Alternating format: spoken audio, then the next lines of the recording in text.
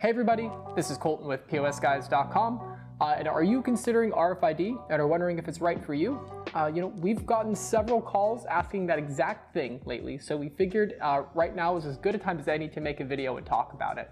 Uh, because RFID can make a business more efficient, but like most things, it's not a magic bullet that can fix any problem. Um, when working with clients to see if uh, RFID is suitable for their use case, we typically ask them a few specific questions about their operation and pain points.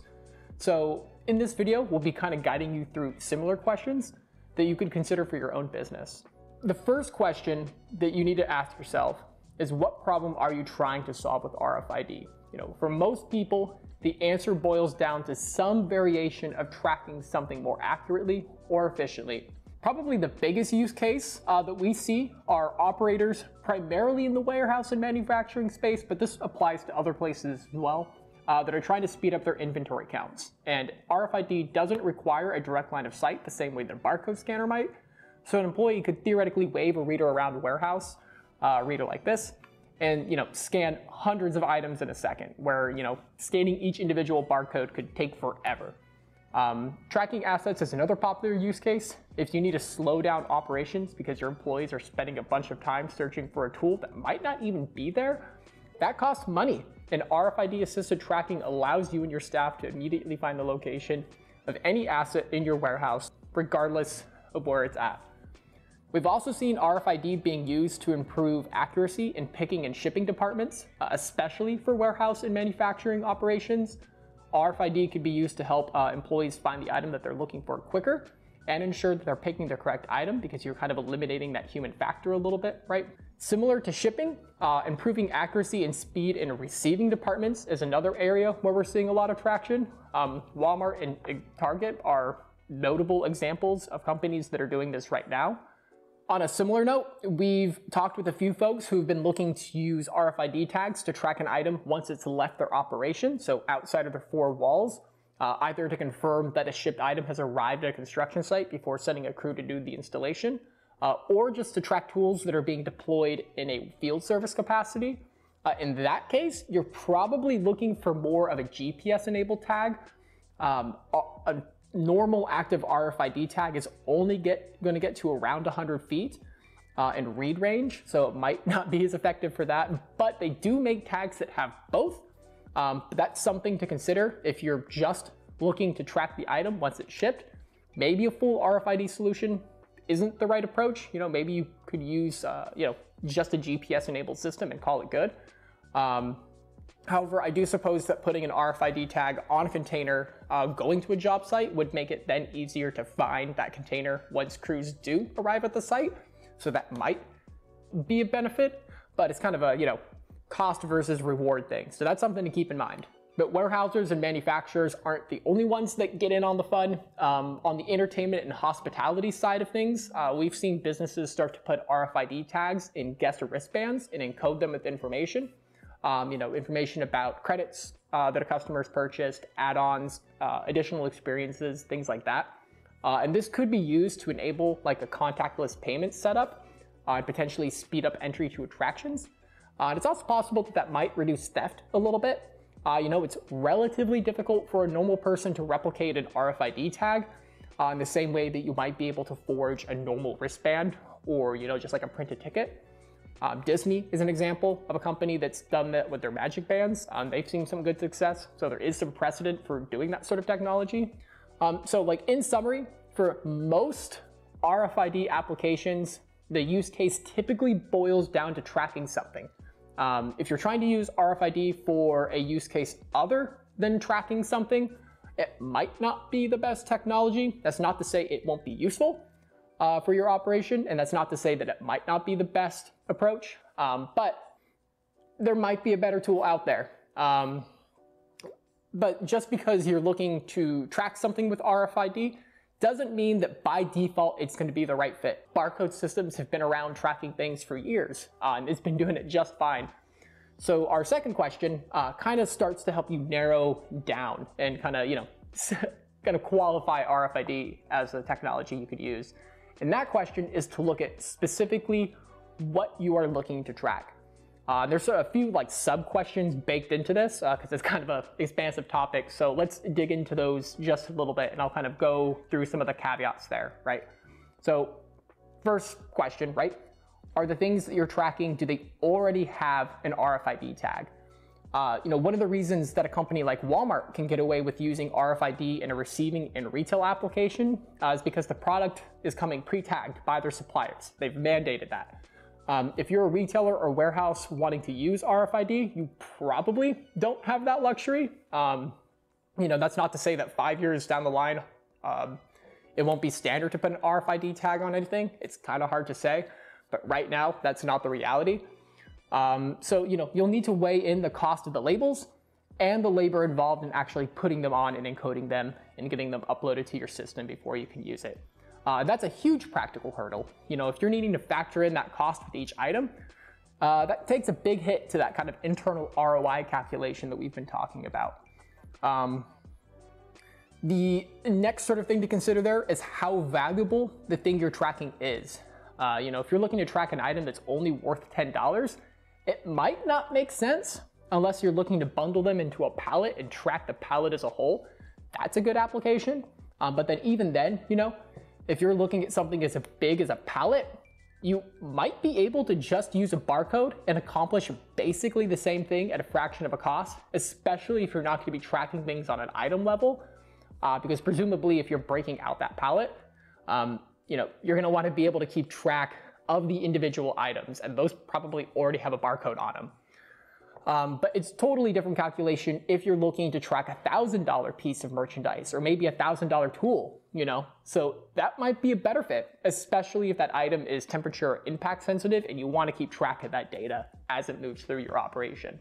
So the next thing to consider then is how many things are you looking to track and where are they located in your operation? You know, if you're only looking to track 100 items in a single room, especially if it's a low value item, you're probably going to spend more on an RFID solution than you would have just spent on the labor to track it using a properly uh, configured barcode system. Uh, and since radio signals can travel quite a bit, you know, they can even go through walls in some cases, uh, you risk scanning more labels than you originally intended. Uh, and that could be a huge pain, you know, if you're trying to scan a single pallet of items uh, for a particular shipment and you end up scanning items from across the room, or, you know, even better yet, like totally in an adjacent room, uh, and you're gonna get all these bad reads, right? And it's gonna be really hard for you to figure out what exactly is in that pallet. Uh, you know, to prevent that, you may need to install some sort of barrier to isolate your scanning area. Um, and you know, that certainly adds some additional complexity that you'll have to grapple with. Um, a pro of a barcode is that, you know, while it can't scan multiple items at the same time, it does offer a little more spatial accuracy and reliability with the reads. Um, and since a barcode scanner captures each code individually, you don't have to worry about accidentally scanning more items than you intended that are like off in a corner or somewhere. Um, so that's another thing to keep in mind.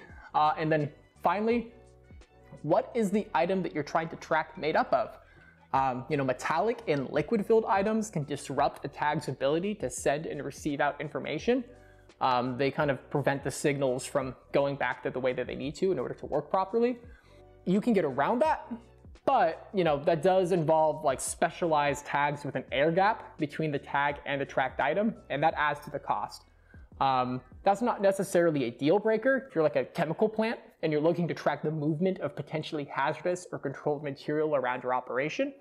Getting that accuracy that a well-designed RFID system provides isn't a bad proposition. It might be a good thing even for just the peace of mind of it all, but, you know, if you're like a grocer looking to take a metal shopping cart full of beverages through a reader, you're to have a hard time getting an accurate or reliable scan on that. So, you know, that's a thing to consider. So, when you put these all together, you know, there's a lot of things to consider there. Um, I recently read about a rug store who put RFID tags on their rugs before stocking them, right? And so these rugs are rolled up very tightly and they're bound in this like exterior film to protect them. Um, and they're stored in these like narrow racks in this warehouse. Uh, you know, sometimes these rugs would get returned to the wrong bay. Uh, and if an employee wanted to try to check to make sure, they had to like unroll it to see if they had the right one. Um, and these are like thousand dollar plus rugs, right? So you, they would have uh, customers come in asking if they had a particular rug, and an employee would go and try to take a look, couldn't find it, say, hey, we didn't have it, when in reality they did. It's just in a bay on the other side of the aisle.